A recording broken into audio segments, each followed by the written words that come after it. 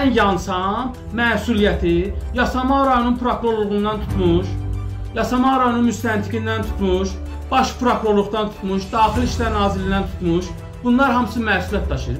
Kanalımıza müraciət edən Həmid Leylgün və Sabir Əliyev bildirir ki, Bağırov Qalib və onun atası Bağırov Sahib onların etibarından sui-istifadə edərək iş görmək adı ilə təxminən 140 min manatlarını alıblar. İndiyə qədər müxtəlif bəhanə və təhdidlərlə bu pulu geri qaytarmaqdan boyun qaçırırlar. Bağırov Qalib və atası Bağırov sahiblə bağlı aidiyyatı orqanlar isə heç bir tədbir görmürlər deyə şikayətçilər bildirib. İndi isə daha ətraflı. Amma təəssüflər olsun ki, bizim şikayətimizə baxan olmadı. Bizim ərizəmizi böldülər. Bizi birləşdirməkdənsə, yəni bizi ayrı-ayrı, məni 29-cu bölməyə, Elgünü isə 28-ci bölməyə verdilər. Əgər birləşdirsəydilər, yəni fakt dələduzluq işini ayırmaq üçün. Yəni ancaq məqsəd budur. Və biz bütün hər bir yerə hər bir yerə şikayət elədik. Bu hüquq mühafizə orqanlarında bir aydan artıqdır ki, bizi nə çağırmırlar, bizə nə bir söz demirlər, şikayətlə bağlı, yəni siz ərizə vermisiniz, siz yəni nə maraqlanmırlar. Yəni konkret olaraq maraqlanmırlar. Bağırov Qalib, yəni eyni adla kimizə etibardan sui-istifadə eləyib, iş görmək adından 10 minə 2000 manat xeyir qazanacam, sənə 300-400 manat qazanc verəcəm. 106500 manat Qalib 13350 manatda atası. Atası da o adla alıb ki, oğlu batandan sonra güya mən ona pul verim. Bu işləsin, köhnədən borcu qaytarsınlar. Atası da mənə belə anlatdı. Bizim yəni əlimizdə hər bir səsi var. Lap birinci biz kimiz baş mütəkkil cinayətçilər mübarizə idarəsində şikayət eləmişik. Orada İslam adlı müstəntiq bizi qəbul eləyib. İzahatlarımızı alıb. Deyib bu iş bura giribsə, bu işə baxılacaq. Dedi ki, yəni işə biz baxacağıq, bu iş bura giribsə baxılacaq. Nədənsə, yəni bəzi mən fikirləşirəm ki, nədənsə yəqin ki, onu dəvət edirlər ora. Bu işə orada baxmadılar, göndərdilər 28-ci polis bölməsinə. E, Sabirin də 29-cu polis bölməsinə. Bilə-bilə işi ayırdılar. Yəni eyni adamdan, bir adamdan 2 nəfər şikayətçidir dərəduz. İş getdi 28-ci polis bölməsinə. 28-ci polis bölməsi işə baxmırdı. Emin altı tədqiqatçı dedi. Mən 4 dənə məktub yazdım. Birincisi cənab prezidentə, cənab nazirə, ombudsmana, bir də baş prokurorluğa. İşə nəzarət verdilər. Çağırdı bizdən izahat aldı, məndən yəni izahat aldı. Göndərdi işi istintaqa. İstintaqda da ki, istintaka iş ayın 7-si gedib, mart ayının 7-si. Gedib istintaqdan xəbər yoxdur.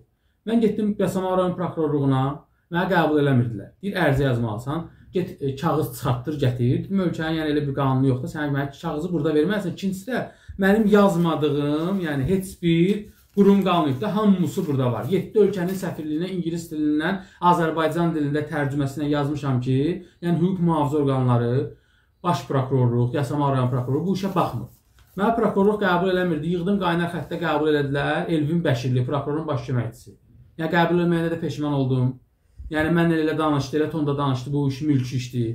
Mənə deyir ki, o yazıb ki, izahatındakı 60 min manat ziyan eləmişəm. Deyirəm lap gözəl. Yazıb 60 min manat yanamışam. Qanun bunu araşdırmalıdır ki, İşlər Nazirliyinə elektron və belə.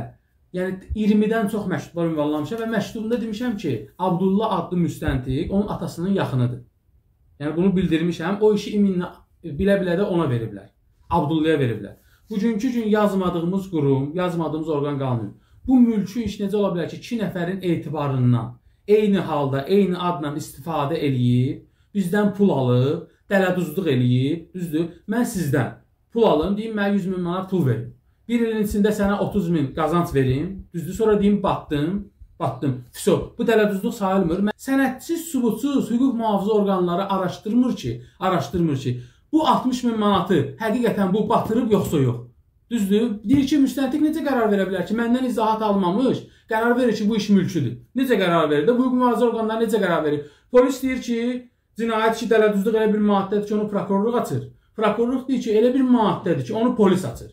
Nədir dələduzluqların arxasında dayanmısınız? Mən ölməyə də razıyam. Benzin töküb özümü yandıracağam, yandıracağam. Ondan sonra mənim üçün maraqsızdır. İşə baxıldı, baxılmadı. Amma bunu da deyirəm ki, xalqım görsün ki, mən yansam, məsuliyyəti Yasama rayonun prokurorluğundan tutmuş, Yasama rayonun müstəntiqindən tutmuş, baş prokurorluqdan tutmuş, Daxili İşlər Nazirliyindən tutmuş, Bunlar hamısı məsuliyyət daşıyır. Mən buradan cənab nazirdən, cənab Kamran Əliyevdən, yəni bu onlar gəlib ora çıxmırsa, mənim səsimi Məcbur elədilər ki, mən səsimi belə çatdırım. Mən buradan bax hüquq mühafizə orqanlarına səslənirəm, baş prokurorluğa səslənirəm. Azərbaycan Respublikasının bir vətəndaşı, bir ailə başçısı özünü yandırmağı gözləyirsiniz? Qarabağ qazisi Səttar Mehbaliyevə dedi ki, özümü yandıracam. Heç kim önəmsəmədi. Yandırdı özünü.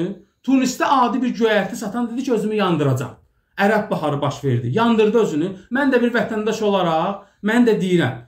Mənim işimə məni çağırıb harasa çağırmaq lazımdır. Mən sözlərdən yorulmuşam. Bildiniz də prokurorluğun sözündən, Daxili İşlər Nazirliyinin sözündən, polisin sözündən hərəsi bir-birinin üstünə atırlar. Hamısı bir-birinin üstünə atır.